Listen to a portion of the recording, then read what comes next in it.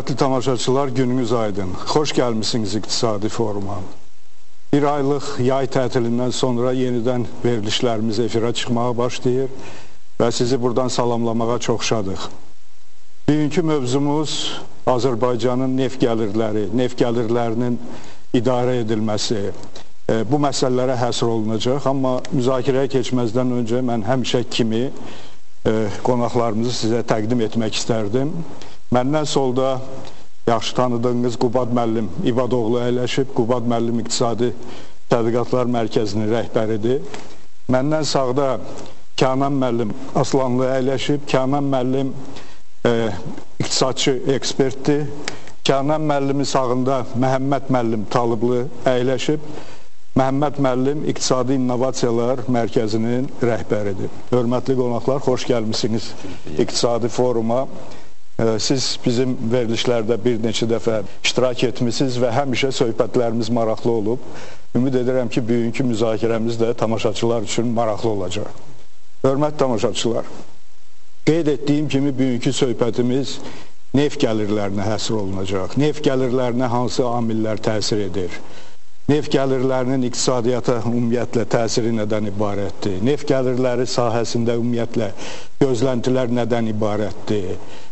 Gələcəkdə biz nələri gözləyə bilərik gəlirlər olaraq? Bax, bütün bu suallar ətrafında bu gün müzakirələrimizi aparacağıq. Amma mən istəyərdim ilk sualı məhz təsirlərdən başlayaq. Yəni, ölkəmizin gəlirlərinə, neft gəlirlərinə əsas təsir edən amillər hansılardır? Bunları bir nəzərdən keçirək və bu sahədə nələr gözlənilə bilər, onlara da bir nəzər salaq. Mən istərdim birinci sualla, bu sualla Kənan bəy sizə müraciət edim. Bu iki əsas amil biz bilirik, neft gəlirlərinə təsir edən. Birincisi təbii olaraq hasilatın həcmidir, ikincisi də qiymətlərdir. Bax, bu sahədə siz nələri bizə burada e, qeyd edə bilərsiniz? Yəni, hazırki durum nədən ibarətdir? Gözləntilər nədən ibarətdir? Buyurun. Təşəkkür edirəm Sabit bəy. Doğrudan da neft gəlirlərinin miqyasına və miqdarına təsir edən iki əsas faktor neftin dünya bazarındakı qiymət səviyyəsi və ölkədəki neft, xam neft hasilatının səviyyəsidir. 2011-ci ildən etibarən Azərbaycanda xam neftin hasilatının həcmi azalmaqdadır. 2010 və 2009-cu ilə nisbətən 2011-ci ildə 2010-cu ilə nisbətən bir, təqribən bir 10-11 faizlik azalma qeyd alınıb və bu il ərzində 2012-ci il ərzində də bu azalma davam edir və 2012-ci ilin ilk 7 ayının nəticəsinə görə hasilat ə, e, ötən ilin müvafiq dövrünə görə 4.8% azalıb. Eyni hasilat ə, e, Ayrdeneşin has, ə, e, hasilatına da aiddir, ə, beynəlxalq əməliyyat şirkətinin hasilatına aiddir və Ayrdeneşin hasilatında azalma həm xam neftdə, həm təbii qazda müşahidə olunur. Səbəbləri isə sözün açığı ictimaiyyətə tam bəlli deyil, daha doğrusu müxtəlif açıqlamalar gəlir. BP və BP-nin e, aparıcı olduğu beynəlxalq əməliyyat şirkəti daha çox texniki səbəblərlə əlaqələndirirlər. Dövlət neft şirkəti isə bunun məqsədli bir addım olduğunu irəli sürür. Yəni Azərbaycan tərəfinin ə, e, hasilatın səviyyəsini müəyyən bir rəvan həddə saxlamaq siyasətinin nəticəsi kimi göstərirlər. Ancaq istənilən halda bu azalma var. Ancaq bu azalmaya baxmayaraq ə, neft Amma əsas bəli bir amil də var ki, biz bu deyə fincandan suyu içdikcə azalır orada. Bəli. Yəni getdikcə onsuz da azalmanı biz obyektiv səbəb olaraq yəni, müşahidə edəcəyik. Yəni ehtiyatların azalmağını nəzərdə tutursunuz da. Bəli, bu, bu yəni yeni yataqlar bəli. işə düşməyəcəksə, bəli. təbii ki, azalma müşahidə Bununla olunacaq. Bununla bağlı da sözün açıq fikirlər ziddiyyətlidir. Azərbaycan geoloqlarının fikri ilə məsəl üçün xarici geoloqların fikri həmişə bir-birindən kəskin fərqlənib. Azərbaycan tərəfi həmişə ehtiyatların çox olduğunu iddia edir. Xarici deyək ki, BIP-nin hesabatlarında isə bu ehtiyatlar daha az göstərilir. Eyni zamanda son illər Azərbaycan Azərbaycanda yeni qaz yataqlarına bağlı məlumatlar olsa da, neft, yeni neft yataqları ilə bağlı ancaq informasiyalar Azər-Çıraq Günəşlinin dərin layları ilə bağlıdır. Hasilatla bağlı istəyirsiniz çox vaxt almadan bu qədər. İndi isə qısa şəkildə neftin qiymətləri ilə bağlı vəziyyətə toxunaq. Çünki bu, bu sahədə mənzərə həddən artıq dramatik və dəyişkəndir.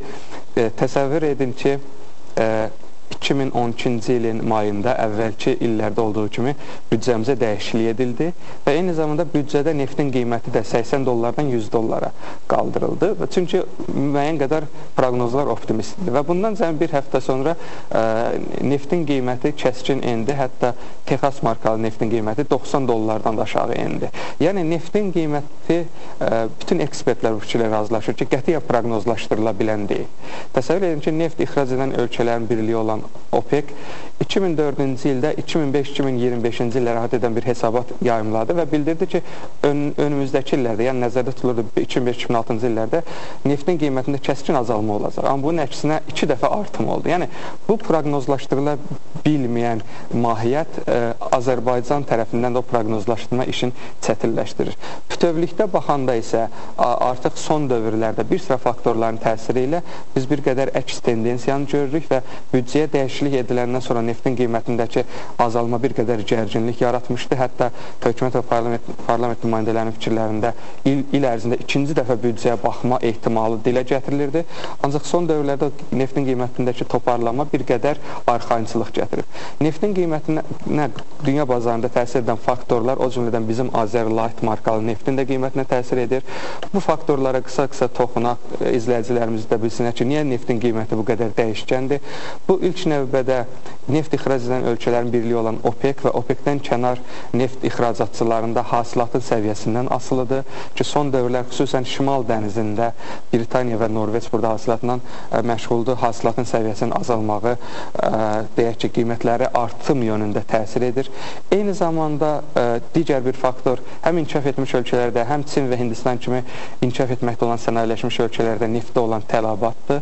Digər bir faktor birjalarda spekulyativ kapitalın hərəkətidir, hansı ki, son dövrlərdə Avrozonadakı e, problemlə bağlı bir qədər optimist rəyin yaranması e, spekulyativ kapitalı yenidən neftə istiqamətləndirdi və bu da neftin qiymətlərinə artırıcı təsir göstərdi ki, bu proseslər daha çox baş verir 3 birjada dünyada, London, New York və Singapurda. Belə deyək də, dünyada neftin qiyməti bu tali bu üç şəhərdə həll olunur. Eyni zamanda çox önəmli faktorlardan biri, həddən artıq və maraqlı faktorlardan biri yaxın şərqdə baş verən proseslərdir. Son 50 ildə neftin qiymətinin dinamikasına baxanda burada ən mühüm determinantlar faktorlardan birinin yaxın şərqdə baş verən hadisələr olduğunu görərik. 70-ci illərdən Ərəb-İsrail konfliktindən tutmuş, 90-cı illərin əvvəlində Körfəz savaşına qədər, daha sonra son dövrlərin ən böyük sıçrayışı 2003-də Amerikanın İraqı işğalı olmuşdu və hal-hazırda həm Ərəb ölkələrində, Suriyada və İran ətrafında baş verənlər bu qiymətə hələlik artırıcı təsir göstərir. Yəqin başqa amillərdə qeyd etmək olar. E, siz razı olarsınız ki, neftin qiymətinə e, kifayət qədər güclü təsir göstərən Amerika Birləşmiş Ştatlarıdır. Yəni buradakı o ehtiyatlara dair siyasət ən, ən mühüm, ən, mühüm, mühüm bəli, əslində 4-5 faktordan biri də odur. Yəni ABŞ həmişə öz strateji neft ehtiyatlarını istifadəyə açacağını bəyan edəndə bu neftin qiymətinə təsir göstərir və müəyyən qədər belə deyim, ucuzlaşdırıcı təsir göstərir və ən son olaraq ABŞ tərəfi bir növ öhdəlik götürdü ki, əgər İran ətrafında baş verən hadisələr gərginləşərsə və bu da neftin qiymətini həddən artıq kəskin artırarsa, bu, da, bu zaman qarantiya kimi xüsusən tərəfdaş ölkələrdə daha çox xərcləmələr olmasın deyə bir qarantiya kimi ABŞ öz ehtiyatların daha böyük həcmin istifadəyə aça bilər. Bu da önəmli bir faktordur. Yəqin biz bir faktor haqqında da danışa bilərik. Bu da ümumiyyətlə dünyada alternativ enerji mənbələrinə diqqətin artmasıdır. Yəni belə bir siyasət e, gündəmdədir. Biz bilirik ki, Avropa Birliyinin deyək ki, 2020-ci ilə olan strateji məqsədləri 20% e, o demək ənənəvi mənbələrdən alternativ enerji mənbələrinə keçiddir. 20% ümumiyyətlə enerjiyə qənaət etməkdir və s.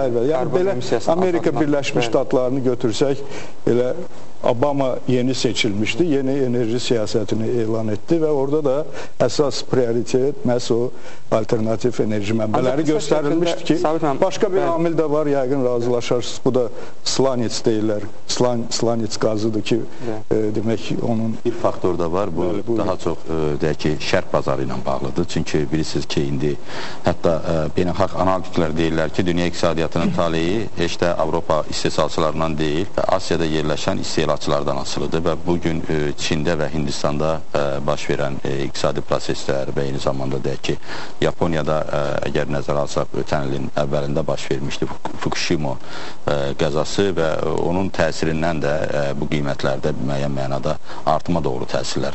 E, orada tələbat artır, orada ə, müəyyən deyək ki, ə, daha çox ə, istehlaka yönələn tələbatın yüksəlməsi neftin qiymətinin bahalaşmasına gətirib çıxarır. Yəni biz əgər 2011-ci ilin qiymətlərin trayektoriyasına nəzər salsaq, bəlli olacaq ki, 2011-ci ildə ən yüksək qiymətlər 120 dollardan ə, yüksək artıq qiymətlər birinci rübdə qeydə alınıbdır və birinci rübdə də dünya ə, deməli arenasında iki mühüm hadisə baş verib. Biri ə, demək ə, yaxın şərqdə ə, siyasi böhranlar ə, və hakimiyyət dəyişikləri, ikincisi isə ə, demək uzaq şərqdə Yaponiyada qəza və onun təsirindən sonra da eyni zamanda qeyd etmək olar ki, məhz həmin rübə təsadüf eləyən Hindistanda və Çində istehlakçıların enerji resurslarına olan tələblərinin artması.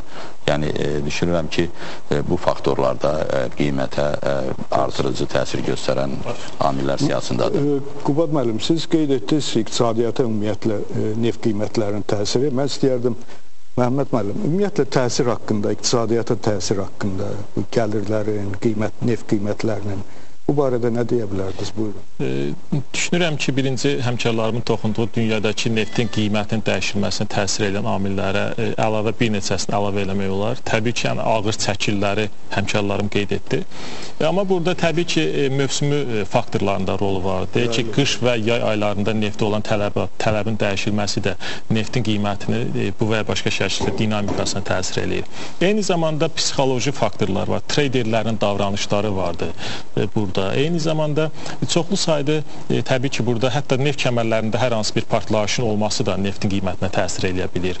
O cümlədən Amerikanın yəni, cari əgər bazarda konjunktura dəyişirsə, situasiya dəyişirsə, tələbat, təklif e, deyək ki. E, kəmər vasitəsilə axan partlayış zamanı da hasilatın da e, kvotasına bir o qədər təsir edir. Təbii ki, çox saylı burada səbəblər qeyd etdik. Amma ümumilikdə e, Azərbaycan iqtisadiyyatına daha çox təsirlər nədən ibarətdir? Mən düşünürəm ki, Azərbaycan iqtisadiyyatına bunun təsir kanalları bir neçə e, makroiqtisadi göstərici vasitəsilə ötürülür.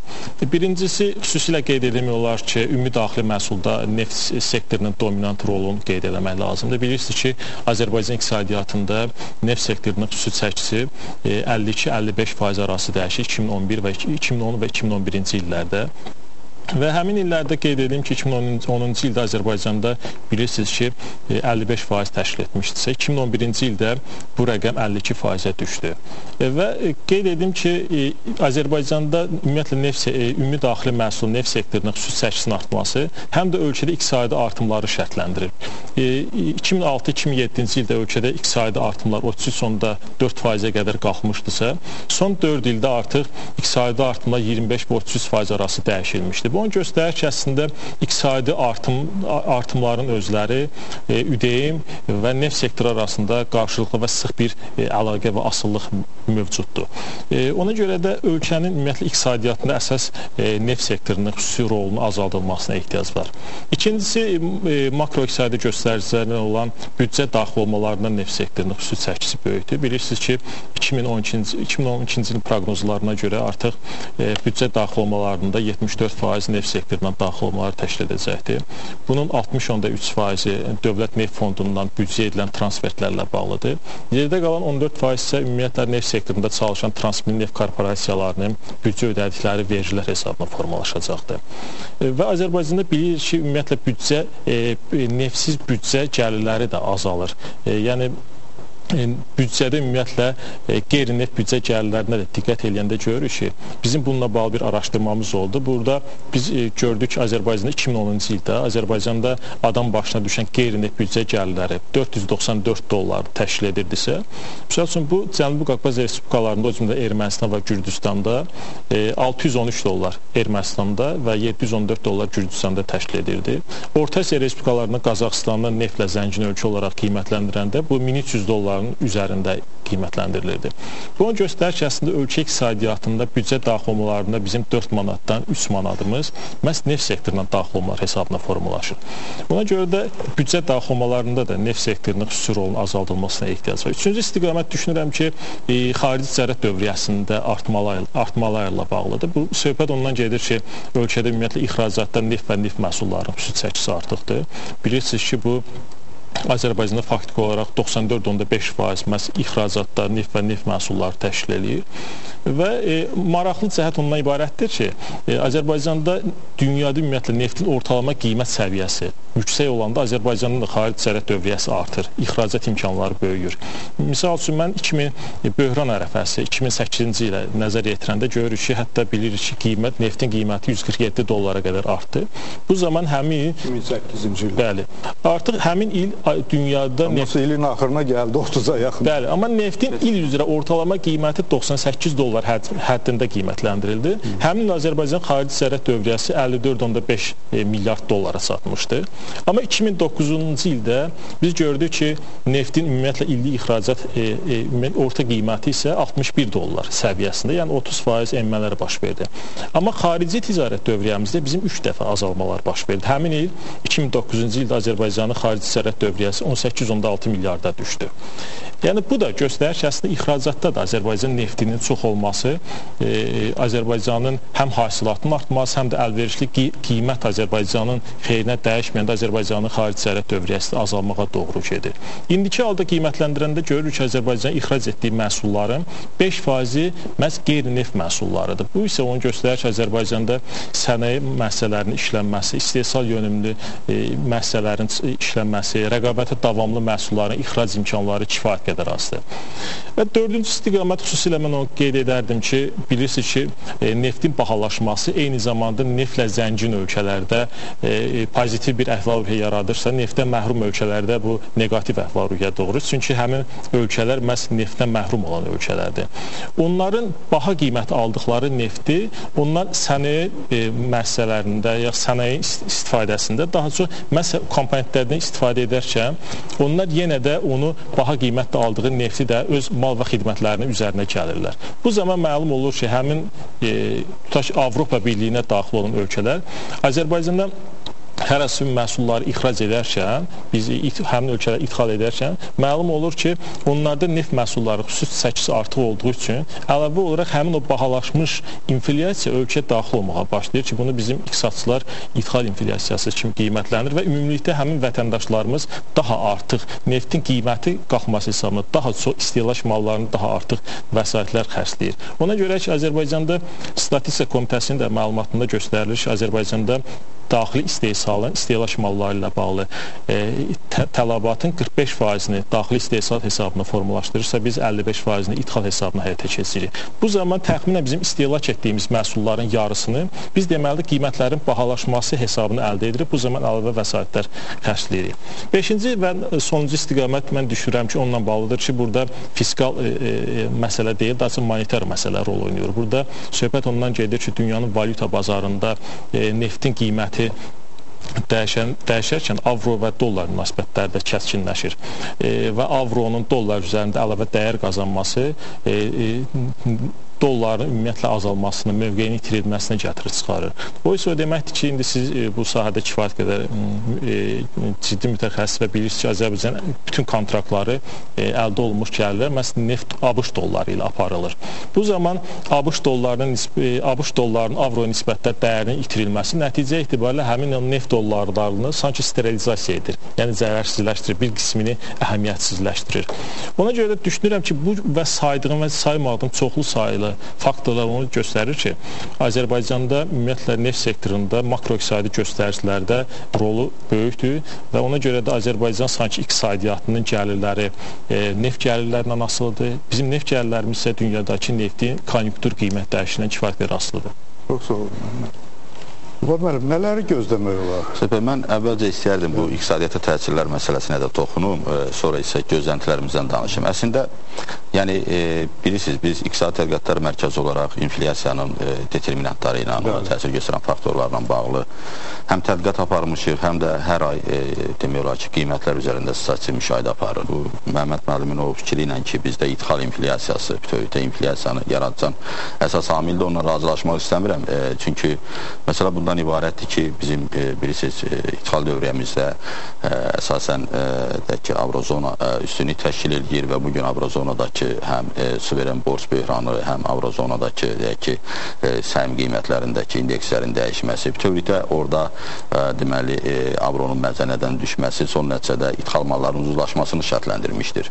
Məsələ bundan ibarətdir ki, bu gün e, bizim neftin iqtisadiyyata təsirlərindən danışanda əslində daxildə neftin inflyasiya yaradıcı gücü xaricdən ithal inflyasiya ilə müqayisədə kifayət qədər yüksəkdir. Bilirsiniz ki, e, ticari və qeyri-ticari sektorlarda qiymətlərin artım səbəbini biz təhlil edəndə məlum olur ki, qeyri-ticari sektorda qiymətlərin artımının kifayət qədər yüksək templə baş verməsinin əsas səbəblərindən biri ölkəyə e, xeyli neft pullarının daxil olmasıdır. Və ölkə Bəli, bəli. Ölkədə e, bu xidmətlər bazarındakı ə, inflyasiyanın əsas hərəkət verici qüvvəsi bunlardan ibarət olur. Və digər istiqamətlərdə isə mən qeyd eləmək istəyirəm ki, e, bizim neft gəlirlərinin iqtisadiyyata təsirindən danışarkən, yəni bu günləri e, həm də real sektorda baş verən proseslər, deyək ki, kənd sərvatı məhsullarının nədən e, ithal malları ilə müqayisədə e, baha olması yerli məhsulları, onun da əsas səbəblərini əslində e, bu gün Azərbaycanda neftin aparıcı rolu ilə əlaqələndirmək mümkündür. Və eyni zamanda mən qeyd eləmək istəyirəm ki, biz e, ithal mallarının e, qiymətini pərakəndə satış qiyməti ilə e, müqayisə elədik və məlum oldu ki, Azərbaycana daxil olan ithal malların qiyməti o qədər də baha deyil. Sadəcə parakəndə satış qiymətinin baha olması e, gömrükdən çıxan malların sonradan süni yollarla e, deyək ki, e, o hökmran mövqedə olan ayrı-ayrı şirkətlərin e, monopol meyilləri ilə e, monopol qiymətləri ilə bahalaşması prosesi inflyasiya yaradan əsas proseslərdən biridir. Digər tərəfdən neftin iqtisadiyyatında təsirindən danışarkən heç də biz bu günləri Azərbaycanda dövlət xərcləmələrinin əsas mənbəyi olan daxili investisiyaları unutmalı deyilik. Çünki bu gün Azərbaycanda həm infrastruktur, həm sosial sahədəki xərcləmələrin böyük əksəriyyəti məhz e, neft gəlirləri hesabına, e, oradan gələn vəsaitlər hesabına e, deməli maliyyələşdirilmişdir. Və bu fiskal baxımdan Azərbaycanda gedən siyasətdə ə, e, əhəmiyyətli bir rol oynayır və təbii ki, e, daxili bəli, da, daxili investisiyaların, xərcləmələrin çox olması inflyasiya yaradan amillərdən biridir. Amma digər tərəfdən niyə də xərcləməyək? Mən Bu yəni qədər onun, problem onun, varsa ölkədə, mən təbii yəni ki, onun əleyhinə çıxmıram. Yəni mən sadəcə olaraq hesab edirəm ki, xərcləmələr səmərəli olmalıdır, xərcləmələr eyni zamanda şəffaf olmalıdır. Bu gün dünya bazarında gedən proseslər hamıya bəllidir. Yəni suveren e, borc böhranı Avrozonada demək olar ki, səngimək bilmir. Baxmayaraq ki, ötən illəri səhəm bazarı indekslərində müsbət dəyişikliklər baş verəndə proqnozlar ondan ibarət idi ki, bu il ərzində Azərbaycan Avrozonada e, suveren borc böhranı yumuşalacaq və e, Avrozonada dirçəlmə baş verəcək. Amma bu baş vermədi və mən e, hə, hərdən e, deməli bu təhlillər aparanda görürəm ki, Azərbaycan Dövlət Neft Fondunun e, deyək ki, e, həm e, risklərin idarə edilməsi ilə bağlı, həm investisiya siyasəti ilə bağlı strategiyasında kifayət qədər məntiq var. Çünki məsələ bundan ibarətdir ki, onlar istəyirlər ki, aşağı riskli və aşağı e, gərirli, e, aşağı e, dəyişkənli, sabit gərirli fəaliyyətlərə e, vəsaitləri yönəlsinlər. Aşağı risk olanda gəlir də aşağı gəlir də aşağı olur və ə, e, sadəcə olaraq ə, e, qiymət dəyişikliyi də aşağı olur. Məsələn deyək ki, Azərbaycan Dövlət Neft Fondu ötən illəri ə, bu istiqamətdə müəyyən dəyişikliklər elədi. Məsələn, korporativ qiymətli kağızların payını o ümumi investisiya qoyuluşunda çoxaltdı. Amma suveren ə, borcların payını azaltdı. Yəni təbii ki, suveren borclar ə, əsasən bilirsiniz ki, Avrozonadadır və o baxımdan da ə, mən ə, hesab edirəm ki, bu dünya iqtisadiyyatına baş verən dəyişikliklər dəyişikliklərə e, reaksiyadan irəli gələn bir qərarlardır. Məsələn, biz qərar verdik ki, artıq e, qızıla investisiya qoyaq. Azərbaycan Dövlət Neft Fondu qızıl almağa başlayıbdır və ötən ilin iqtisadiyyatında, e, dünya iqtisadiyyatında qiymətləri nəzərdən keçirəndə ən çox artıma malik olan deməli əmtələrdən biri də qızıl olub. Hətta 1900 dollara kimi bahalaşıbdı. Orta sabit qiymət isə bir ünsiyası 1600 dollar səviyyəsində olubdu. Yəni mən bir şey demək istəyirdim ki, burada yəni bizim neft gəlirlərinin idarə edilməsi o qədər də asan məsələ deyil, kifayət qədər mürəkkəbdir. Xüsusilə də biz əgər dünya bazarına çıxırıqsa və ən vacib məsələlərdən biri məhz o bizim valyuta səbətində neft gəlirlərinin 40%-nin avro ilə saxlanılmasıdır və ə, e, avronun ə, e, dəyərdən düşməsi ə, e, bilirsiniz ki, neftkarlarının da yəqin ki, məzənnə fərqindən itkilərinə gətirib çıxaracaqdır indi. Ötən il bu baş veribdir, əvvəlki illərdə var, bu illəri daha çox baş verəcəyini biz gözləyirik və bir gözləntimiz bundan ibarətdir. İndi Azərbaycanda kommersiya bankları demək olar ki, avro ilə əməliyyatlar aparmır, amma Azərbaycan hökumətinin strateji valyuta ehtiyatlarının ə, demək olar ki, əsas hissələrindən biri dollardadır, amma ondan sonra isə Avropayı kifayətlər yüksəkdir. Və neftkarların təsirindən danışarkən təbii ki, manatın məzənnəsinin Amma digər bugünkü... tərəfdən Qubad bəy, bu gün hansı deyək ki, növ valyutaya etibar etibar etmək olar. Hə, amma e, yəni müəyyən e, dünya bazarında proseslər gedir. Məsələn deyək ki, krona etibar artıbdır. İsviçrə bazarında. yol o balanslaşdırmaqdır o səbətin içərisində və Azərbaycan manatı ilə də ola bilər ki, mən demirəm ki, külli miqdarda bir qismini Azərbaycan manatı ilə də biz idarə etmə e, və yaxud da investisiya istiqamətlərində və yaxud da yeni qərara görə artıq rus rubluna və türk lirəsində də vəsaitlər saxlana bilər. O da bir variant. Əmlakına da ola bilər. Yəni bu zaman valyuta səbətində diversifikasiya siyasətini həyata keçirmək daha doğrusudur. Təbii, mən də razılaşıram o fikirlə. Valyuta səbətinin diversifikasiyası daha da genişləndirilməlidir ki, biz bu dünya bazarında baş verən dəyişikliklərdən çox təsirlənməyək.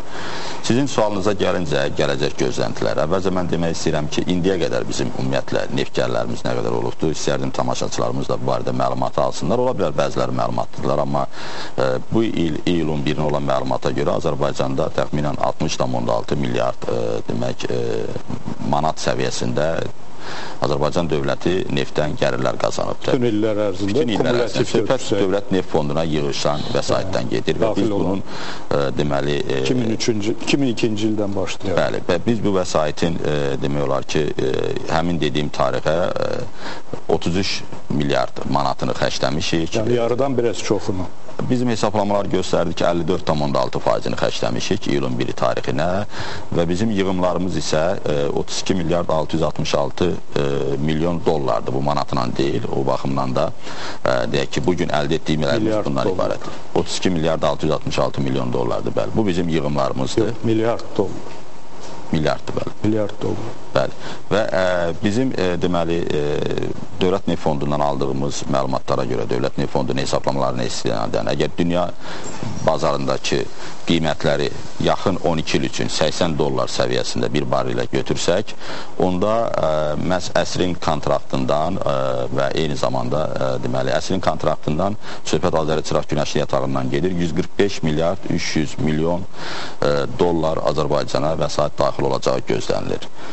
Hansı e, ilə deyirsiniz? Söhbət 2012, 2000, 2013, 2024-cü illər daxil olmalı. Yəni kontraktın Ka kontraktın sonu. sonuna qədər, bəli. Bu deməli 12 ildə orta hesabla götürəndə Azərbaycanda e, neft gəlirləri 12,1 milyard manat olacaq. Eyni zamanda ə, e, Dövlət Neft Fondunun həm də qaz gəlirlərinə bağlı açıqlamaları var və həmin dövrdə ə, e, yaxın demək olar ki, 12 ildə söhbət yenə 2013-dən 2024-dən gedir. Azərbaycana orta hesabla da 1,1 milyard qaz gəlirləri daxil olacaq. Və üstə götürəndə Azərbaycanın neft və qaz gəlirləri orta illik göstəricisi 13,3 milyard ə, e, deməli dollar səviyyəsindədir. Və bu ə, tendensiyaya baxanda neft gəlirlərinin hələ 2015-ci ilə kimi əgər orta qiymət 80 dollar olarsa artımı gözlənilir. Amma ə, mümkündür ki 2015-ci ildən sonra artıq enişə başlayaq. Amma qaz gəlirlərində isə baxmayaraq ki, qaz gəlirləri böyük olur. böyük ə, deyək ki, gəlirlərdən söhbət getmir. Qaz gəlirlərində söhbət yalnız mən şah dənizdən əldə edilən qaz gəlirlərdən söhbət edirəm. Qazdan əldə olunan gəlirlər neftdən deyək ki, ekvivalent götürsək, e, biz bilirik ki, 1000 kub metr bir ton neftin ekvivalentidir. Yəni e, tamaşaçılarımız üçün deyə bilərik də, yəqin ki, qazdan əldə olunan gəlirlər təxminən bir 7-8 dəfə neftdən əldə olunan gəlirlərdən az olur, elədirmi? Elə bizim hesablamalarımız da göstərdi ki, neft gəlirlərinin azalmasından Azərbaycan iqtisadiyyatının itkisinin yalnız 15%-ni qaz gəlirlərinin artımı kompensasiya eləmək e, imkanındadır. Məsələn, 2015-ci il səviyyəsindən 2024-cü ildə biz 8 milyard dollar az neft gəlirləri əldə edəcəyik. Amma həmin dövrdə e, bizim qaz gəlirlərimizin cəmisi artımı, yəni 2024-2015-ci illə müqayisə edəndə cəmisi 1,1 milyard eləyir. Yəni belə götürəndə ə, e, orta ə, e, göstərici ə, qaz gəlirlərinin, neft gəlirlərinin kompensasiya eləmək qabiliyyəti 15%-dir. Mar maraqlı məsələlərdən biri ondan ibarətdir ki, qaz gəlirlərində də ə, bizdə ə, ən yüksək proqnoza görə artım olacaq. 2021-ci ildə 2021-ci ildən sonra yenə qaz gəlirlərinin sabitləşməsi və azalması prosesi gedir. Amma amma şəxsən mən düşünürəm Amma digər yataqlar, digər yataqlar bəli, e, bəli, işə salınmasa, söhbət şah dənizdən gedir. Digər yataqlar işə salınarsa təbii ki, e, bizim e, digər yataqlardan da gəlirlərimiz çox ola bilər. Məsələn, mən neft yataqları ilə təsdiq olunmuş ehtiyatlar qaz ehtiyatları kifayət, qədər, qədər böyükdür. Kifayət qədər böyükdür. Yəni ən azı ən azı 50-100 il üçün 100 il üçün Azərbaycan nəinki özünü təmin edəcək, hətta e, Amma ə, e, məsələ bundan ibarətdir ki, ən böyük ehtiyatımız da ə, e, şah dənizdədir biz söhbət istismar olunan e, qaz e, yataqlarından gedir. Məsələn, neft e, yataqları sırasında da siz gözəl bilirsiniz ki, istismar olunan çoxlu yataqlar var. Ən böyük yatağımız Azəri Çıraq Günəşlidir. Ona görə e, demək Dövlət Neft Fondu Azəri Çıraq Günəşli və Şahdanizin bazasında bir hesablamalar aparıbdır. Məsələn, mən 2011-ci il ərzində mənfəət neftinin və qazın satışı üzrə gəlirlərinin yataqlar üzrə strukturuna baxıram. Təsəvvür edirsiniz ki, Azəri Çıraq Günəşli 2011-ci ildə 19 milyard dollarlıq Azərbaycana gəlir verib. Ondan sonra Şahbəniz 237 milyard dollar ixtiyarı verib. Sonra isə ə, e, artıq ə, e, deməli Kirovdağdır, Binəqədidir, Suraxanıdır, Neftçaladır, Bahardır, Zırdır, Kürsəngi, Qarabağ yataqlarıdır. Hamısını bir yerdə toplayanda hamısının bir yerdə verdikləri heç 70 milyon dollara ə, e, çatmır. Yəni Dolayısıyla e, 19 milyarddan artıq da 2011-ci ildə Dövlət Neft Fondunun o mənfəət neftindən daxil olmalardır. Bu bir daha onu göstərir ki, daxil olmalar əsas etibarilə baş verib yalnız bir layihə üzrə. Deməli 97,6 faizi mənfəət bəli, neftindən bəli. daxil olmalar hesabına baş veribdir. Və burada və o da əsasən bir layihə, bir layihədən daxil olmalardır. Hə, burada məsələn bizim vəsaitlərin idarə edilməsindən gəlirlərimiz e, 2000 e, Amma bu neft fondu ilə əlaqəli. Bəli. Burada Azərbaycan Dövlət Neft Şirkətindən söhbət gedir. 95, 97 son illərdə yəni bu aradadır. Neft fondunun deyək ki, gəlirlərinin böyük qismi məhz o mənfəət neftinin satışından Bunun üzərinə gələ bilərik Dövlət Neft Şirkətinin öz istismarında Amma, olan, bəli. Bəli, Dövlət Neft Şirkətinin öz istismarında olan digər yataqlar da var. Ancaq hələlik belə deyək də hasilatın mühüm hissəsi ABŞ tərəfindən aparılır, beynəlxalq əməliyyat şirkəti tərəfindən aparılır. Diqqəti çəkən bir məqam da ondan ibarətdir ki, biz e, deməli e, neft gəlirlərinin idarə edilməsindən 2011-ci ildə 224,8 milyon dollar vəsait qazanmışıq və bu da orta illik göstəricisi faiz dərəcəsinə çevriləndə 0,83 faizdir. Və neft gəlirlərinin idarə edilməsindən daxil olmalar da ümumi daxil olmalarda cəmsi 1,1 faiz təşkil eləyir. Təbii ki, indi e, vəziyyət necədir? Neft gəlirlərindən böyük idarə etmədən böyük vəsaitlər daxil yəni, olmur. Yəni bu e, demək olar ki, kiçik rəqəm. Və belə kiçik azalan, azalan və, rəqəm. Və bu da bunun da bu da ona görə e, necə deyim, belə biz nəticə əldə edirik ki, risksiz, minimum riskli siyasət aparırıq neft gəlirlərinin idarə olunması. Konservativ siyasət. Konservativ siyasətə bax. 2011-ci ildə. 2011 amma indi müəyyən bir dəyişikliklər 2012-dən açıqlanmasa da strategiya bir sənəd olaraq elan olundu ki, artıq yeni strategiyası təsdiqlənib. Mən ə, demək, yəni proqnozlarla deyə bilərəm ki, növbəti illərdə bu mənbədən daxil olmaların artımı gözlənilir. Çünki ə, növbəti ildə neft fondunun hesablamalarına görə məhz fondun ə, deməli vəsaitin idarə olunmasından gəlirlər 2000 ə, söhbət gedir 13-cü ildə, o olacaq 456. Yəni indiki məbləğdən ən azı 2 dəfə çox. Ondan sonra isə 2015-ci ildə 641,8 e, milyon dollara kimi artım proqnozlaşdırılır. İndi proqnozlar bilirsiniz ki, nə dərəcədə Həm dünya iqtisadiyyatında baş verəcək proseslərdən asılıdır. Gəlirliyə çevirəndə, çünki aktivlər də artacaq eyni dövrdə. bəli, aktivlər də yəni, artar. O, aktivlər də artandan sonra, bəli, olar birjalarda dəyişiklik də faiz olaraq gəlirlik o qədər də artmasın. Ancaq istənilən halda mən qısa şəkildə orada qeyd edeyim dövlət neft fondunun həddən artıq mühafizəkar siyasət yeridilməsini ekspertlər olaraq həmişə demişik və ə, Milli Büdcə qrupunda bir çox sənədlərində bu, bu var idi. Və təbii ki, bunu dövlət neft fondunun özündən də görürdülər və strategiya dəyişdi. Deyək ki, daha aqressiv bir siyasətə keçirildi. Amma burada bir sıra risklər hələ də qalır. Məsələn, o bayaq qeyd, qeyd olundu. Ümumiyyətlə investisiya portfelinin hələ də ən az 60%-i Avrozon ölkələrindədir. Yəni bu istənilən halda bir regional çevik bir siyasət yürüdülə bilmir. Eyni zamanda Amma qızıla... çevik bu sahədə siyasəti yürütmək ümumiyyətlə mümkündür. Yəni bu, bu obyektiv danışaq. Bu, belə deyək də bunu yürüdən ölkələr var, nümunələr var, Norveç nümunəsi var. Yəni həddən artıq böyük gəlirliyə malik maliklər. Sadəcə olaraq bunun üçün onlar düzdür. Çox riskli siyasət aparır və biz 2008-ci ildə nə müşahidə etdik? Birdən-birə bir 300 milyard Bəli. dollar. Amma amma 2000, amma sonra düzdür. 2009-cu ildə çox maraqlıdır. Yəni bunu bizim e, Dövlət Neft Fondunun rəsmi məlumat edir. 2008-də böhran əsas dövründə dünyada ən çox itirən fondlardan biri Norveç fondu oldu. Amma heç kim demək ki, 2009-cu ildə bu itkinin artırılması ilə kompensasiya. Ancaq bir şey var ki, Norveç fondu 7000, 8000 müxtəlif şirkətdə səhmdardır. Bunu idarə etməyin böyük bir idarə etmə təcrübəsi və kapasitəsi tələb edir. Azərbaycanda bu yoxdur. Bunu etiraf etmək lazımdır.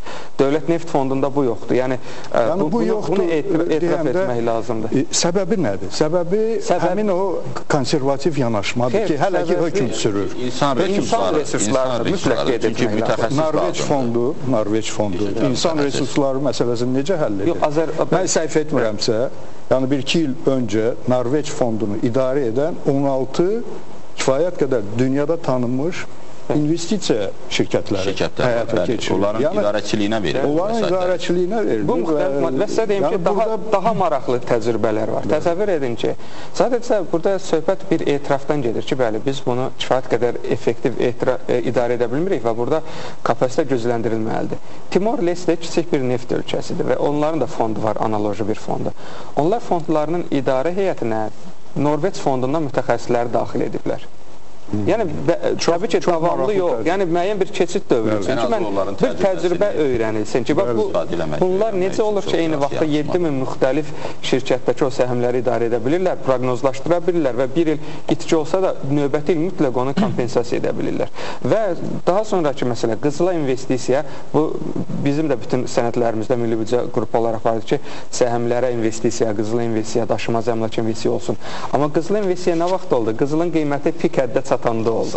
Yəni bir neçə il əvvəl daha uzaq görən addım atsaydıq, 2 dəfə, 3 dəfə unsiya qızılın unsiyası ucuz olanda bu ehtiyatları alardıq. Biz alırıq daha elə bil ki, o bazar doyma nöqtəsinə çatanda. Yeganə burada əsas ümidverici məqam daşınmaz əmlak investisiya ilə bağlıdır. Çünki Avrozonadakı böhran bu zonada daşınmaz əmlak qiymətlərini yəqin ki, daha da ucuzlaşdıracaq və Dövlət Neft Fondu bundan istifadə edəcək. Bu qeydlərdən nəticə, hansı nəticə çıxır? Yəni idarə edilməsi. Yəni idarə edilməsi ilə bağlı indi hər halda daha böyük sərbəstlikmi verilməlidir neft fonduna? Yoxsa çevik qərarlar olmalıdır. Məsələn, bildiyimiz qədər bizdə neft e, gəlirləri hansı ki idarə etməyə verilibdir. Onun təxminən 34 faizi bir ilə qədər olan kontraktlarlandır. Bu o deməkdir ki, bir il ərzində müəyyən qərarlar əsaslandırıb bu prosesin heç olmasa bir üçdə birini dəyişmə imkanları var. Yəni mən hesab edirəm ki, o da düzgün yanaşma olubdur ki, uzun müddətli dövrdə idarəçilikdən söhbət getmir.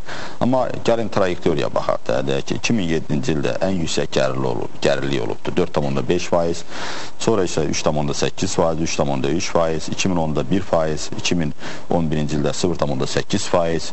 İndi biz e, belə e, üzü aşağı gedirik. Təbii ki, bizim e, bu dəqiqə e, ən çox narahat eləyən məqamlardan biri ondan ibarətdir ki, bir tərəfdən xərcləmələrin ümumi yekunda payı çoxdur. Bayaq dedik ki, 54,6 faizdir. Digər tərəfdən isə gəlirlər e, faizlik dərəcəsi, yəni investisiya portfelinin gəlirliyi azalır.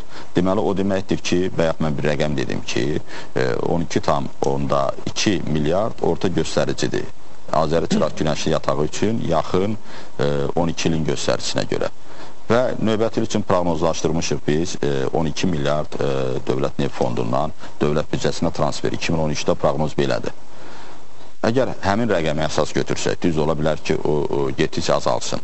Həmin rəqəmi əsas götürsək, belə çıxır ki, elə 10 ilə bizim e, orta hesabla qazandıqlarımızı dövlət büdcəsi vasitəsilə biz xərcləyə bilərik. Və bu da ə, e, təbii ki, neftkarların nəsillər arasında ədalətli bölgüsü çox məsələsinə çox təhlükəli bir tendensiya ola bilər bu. Yəni bu dövrdə biz Məhəmməd bəy də qeyd etdi, qeyri-neft sektorunun payını mümkün qədər artırmalıyıq ki, bax bu bu xərcləmələrin yəni, o, o yığılanlar xərclənməsin. Keyfiyyəti bizi narahat. İki iki əsas xərcləmələrlə bağlı problem var. Biri xərcləmələrin artıqlığıdır. Yəni həddindən çox xərcləmələrə gedirik.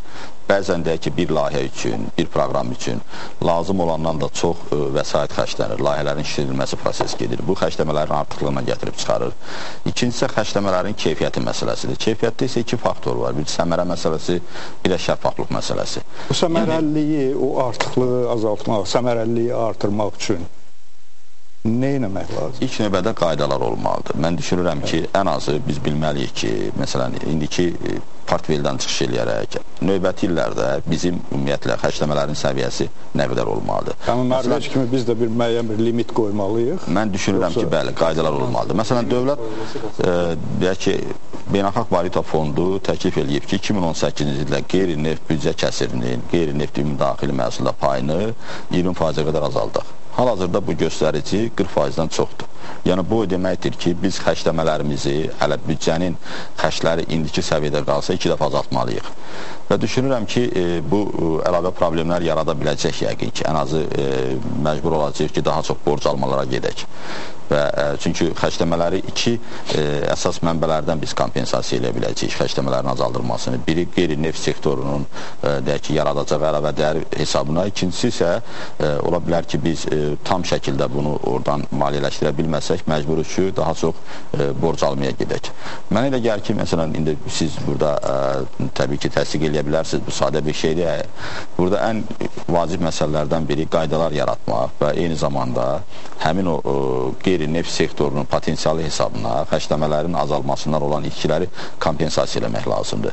Də ki, mövcud qaydalara da biz e, əməl eləməliyik. Çünki həqiqətən də e, müəyyən qanunverici baza var, müəyyən normativ baza var, amma bəzən görürsən ki, e, ona biz e, əməl eləmirik. Məsələn, biz e, keçən dəfə də dedik ki, e, dövlət neft fondunun büdcəsinə mən ehtiyac görmürəm.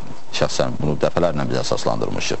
Nəyə görə dövlət neft fondundan strateji e, layihələr maliyyələşdirilməlidir? investisiya layihələri maliyyələşdirilməlidir. Məsələn, biri çox müəmmalı və mübahisəli bir layihə var idi. yəqin ki, büdcədən maliyyələşdirilsin. Çox yaxşı olar ki, büdcədən maliyyələşdirilsin və Dövlət Neft Fondu əsas e, işini fokuslaşdırsın. Bax, bu investisiya siyasəti ilə bağlı, investisiya portfeli ilə bağlı və Dövlət Neft Fondunun büdcəsi sadəcə olaraq Dövlət Neft Fondunun idarə edilməsi və saxlanması ilə bağlı simeta xərclərindən ibarət olsun. Yəni, o büdcəni artıq e, ola bilər ki, müəyyən vaxtlarda... Yəni, siyasət burada dəyişməlidir. Dəyişməlidir, Sabit bəy. Müəyyən vaxtlarda siz də bilirsiniz ki, BTC ilə bağlı hökumətin öhdəliyi var idi. Deyək ki, Qarsa Xalqalaki e, və Tiflis-Bakı dəmir yol xətti ilə bağlı hökumətin öhdəlikləri var idi və Azəri Çıraq Günəşlidə müəyyən öhdəliklər vardı. Bunu bu büdcə hesabına biz artıq məcburi köçkünlərin sosial şəraitinin yaxşılaşdırması ilə bağlı. Bunun hesabını elədik. Amma indi e, həqiqətən də e, Dövlət Neft Fondunun büdcəsinin büdcə siyasəti dəyişməlidir. Yəni büdcə artıq e, deməli dövlət büdcəsinin tərkibində olmalıdır. Məsələn, bu qayda da dəyişməlidir. Yalnız mən demirəm ki, limit qoyulmalıdır. Təbii ki, e, müəyyən limitlər də olmalıdır və e, biz e, çalışmalıyıq ki, ən azı növbəti dövrdəki gəlirlərimizi qiymətləndirək və ona e, elə yanaşma ilə e, investisiya siyasəti, idarə etmə siyasəti həyata keçirək ki, e, müəyyən dövrdən sonra e, həqiqətən də nəsillər də, növbəti nəsillər də, indiki gənc nəsildə bundan bəhrələnə bilsin. Məsələn, bizim neft və qaz gəlirlərinin uzun müddətli istifadə strategiyasında yazılıbdır ki, neft gəlirlərin pik dövründə 25% ən azı yığma getməlidir və bu illəri proqnoza görə daxil olan neft gəlirlərin 78% xərclənəcək. Nədən biz qaydalara əməl eləmirik? Nədən biz e, orada göstərildiyi kimi dəyişmək vaxtı. Bəli. Hörmətli tamaşaçılar, mən e, e, e, vaxtımız yekunlaşmaq üzrədir. Mən istərdim bir daha iştirakçılara, qonaqlarımıza təşəkkürümüzü bildirim. Bu verilişin sponsoru olan Açıq Cəmiyyət İnstitutu və Gəlirlərin Gəlirlərə Nəzarət İnstitutu onlara təşəkkürümüzü bildirim. Və son qeydlər olaraq e, demək nələrə bir də e, nələri bir də qeyd etmək istərdim. E, neft gəlirləri məsələsi hamımızın marağında olan bir məsələdir. Yəni bu məsələdə biz hamımız e, diqqətli olmalıyıq. E, yəni daima bizim e, bir, mən e, yəni burada gözləmək çətindir ki, hər bir vətəndaş bu sahədə e, lazım olan marağı göstərsin. Amma kifayət qədər e, deyək ki, e, amma e, deyək ki, vətəndaş cəmiyyəmizin marağı artmalı. E, çünki burada bu gün səslənən təkliflər kifayət qədər ciddi təkliflərdir. Yəni e, təklif olunanlar da institusional dəyişmələrdir. E, qanunvericilikdə müəyyən dəyişikliklər aparılmalıdır, təkmilləşdirmələrə aparılmalıdır ki, neft gəlirlərinin idarə olunması daha səmərəli olsun və bunun da nəticəsi olaraq hamımızın, ölkəmizin rifahı artacaq, əhalinin rifahı, artacaq və iqtisadiyyatımız da daha yüksək zirvələrə qalxa biləcək. Yeni görüşlərə qədər sağ olun.